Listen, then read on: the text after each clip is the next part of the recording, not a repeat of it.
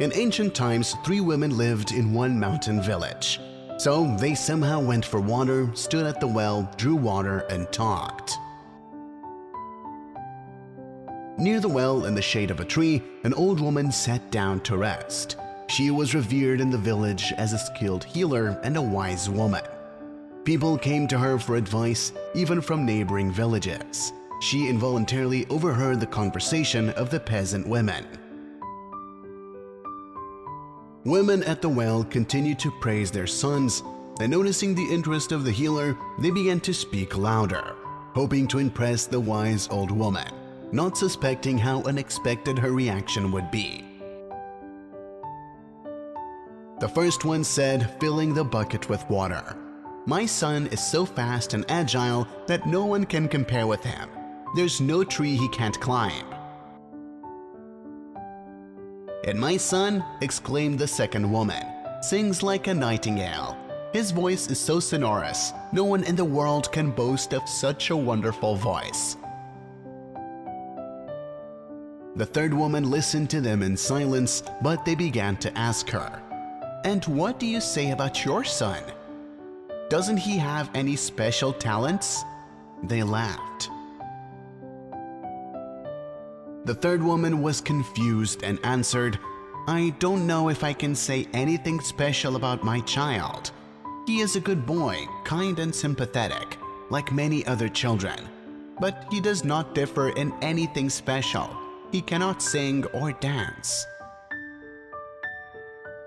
The women filled up their buckets with water, put their burdens on their shoulders, and headed home. The wise old healer followed them. The buckets were heavy, and the women were bent under the yoke of the belts pressing on their backs. So they decided to take a break. They set up full buckets by the road and sat down on the green grass to take a breath and gather their strength. Three guys ran up to them. One immediately began to entertain tired women. He did some dizzy flips and then he walked on his arms, kicking in the air. The women clapped their hands in delight. How skillful he is, they exclaimed.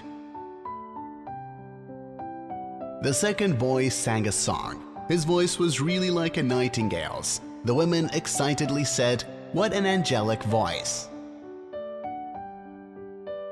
The third boy silently approached his mother. He took the buckets of water from her, hung the straps around his shoulders, and carried the weight home. Mother went beside him. Enthusiastic exclamations did not follow them. Her son did not show any amazing tricks and did not entertain tired women in any way. The remaining peasant women continued to amuse themselves with their sons. Heavy buckets of water stood by the roadside. Finally, having rested, they took up the straps. And then they noticed an old wise healer who was standing at a distance, leaning on a stick and watching them.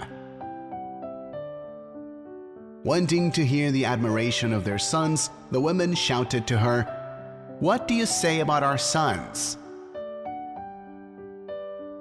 About sons? The healer asked in surprise. But I saw only one son here. There he is. And she pointed the finger at the woman and her son, who were going away. People get recognition for the results of their work.